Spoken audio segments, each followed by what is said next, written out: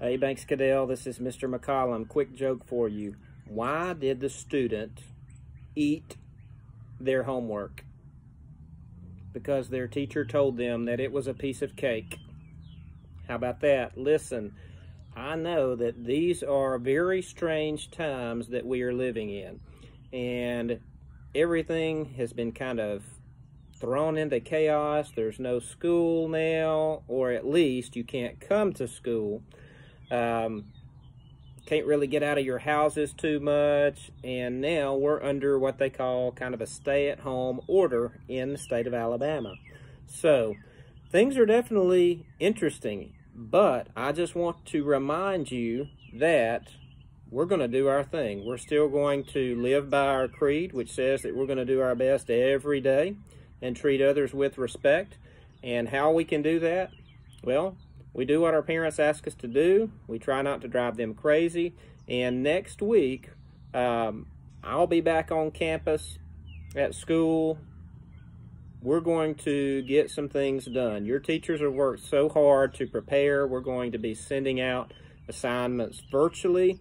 Um, we're working on some packets. There's still some things that we're going to get in place because we don't want to lose all of the learning that we have done thus far this year. The most important thing is for you to take care of yourselves and uh, spend time with your family like we've talked about enjoy the time that you have with your family. This is stressful on everyone, and anyone who says otherwise, they're not telling you the truth, but it's going to be okay. I miss you so much. I'm getting a little bit bored, honestly. Um, I'm tired of doing work at my house, honestly. So I'm ready to get back to school, but um, we just have to kind of roll with it right now. So I want you all to know that I'm praying for you. I'm praying for your families and praying for your teachers and it's all going to be okay. We do have to take care of ourselves, follow these guidelines, wash your hands, keep your social distancing. And I told someone that I kind of like the social distancing part, especially. I've got two little girls. This is going to be great to keep some of those boys away from them. So I kind of like that.